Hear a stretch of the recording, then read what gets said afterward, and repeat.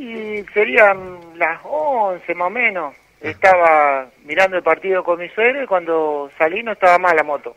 Después me la salimos a buscar porque mi cuñada vio uno que se la llevaban tirando Ajá. y que tenía una campera de boca y una gorra y unos chicos también me dijeron que pasó uno con esa ropa. Y bueno volvimos pues no, no lo encontramos y lo llamaron a un vecino y le dijeron que tenía la moto que quería plata. Y fuimos para allá y era uno justo con la campera y todo de boca así que hoy y tenía que hablar con él Eh, voy a ver qué es lo que arreglo si no yo te voy a dar el nombre del que me quería vender mi moto. Pero es una cosa increíble que los mismos que te robaron te estén pidiendo una recompensa por lo que es tuyo.